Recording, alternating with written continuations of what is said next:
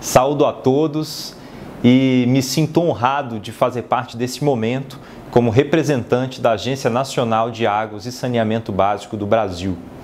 Temos a felicidade de ser o país que possui a maior quantidade de água doce do mundo, com 12% do total existente em nosso planeta. Mas temos desafios grandes a serem enfrentados.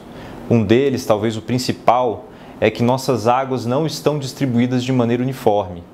Em algumas regiões, não dispomos de água em quantidade ou qualidade suficientes para viabilizar, durante todo o tempo, os usos múltiplos. E essa situação tende a se agravar em razão da nossa perspectiva de crescimento demográfico e econômico. Em outras regiões, como o Norte, onde se encontra nosso querido estado do Amazonas, o desafio está associado à diminuição dos efeitos das cheias, principalmente sobre as populações ribeirinhas. Ou seja, apesar da abundância em água no território nacional, a distribuição é irregular no espaço e no tempo. Gerenciar adequadamente os recursos hídricos é uma ação constante e essencial para o desenvolvimento sustentável das nações. Além de apoiarmos a Agenda é, 2030 da Organização das Nações Unidas, nos esforçamos para ajudar o país a se posicionar cada vez melhor em seus Objetivos de Desenvolvimento Sustentável, os ODS, especialmente os seis, de assegurar a disponibilidade e a gestão sustentável da água e saneamento para todos.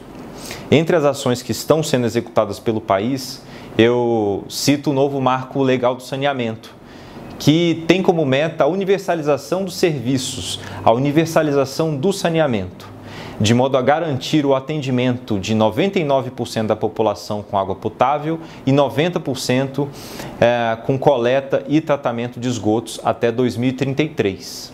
A Agência Nacional de Águas e Saneamento Básico, a ANA, compete à edição de normas de referência para a regulação do setor de saneamento, conferindo a desejada segurança jurídica para que possamos atrair todos os investimentos necessários.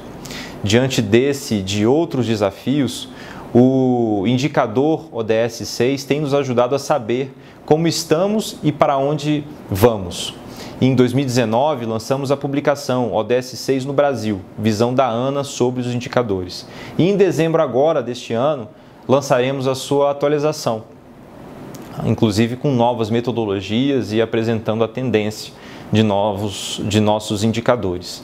Ainda dentro aqui da Agenda 2030, estabelecemos parceria com a Universidade das Nações Unidas, que possui uma ferramenta muito robusta de suporte à tomada de decisão para alcance das metas do ODS 6.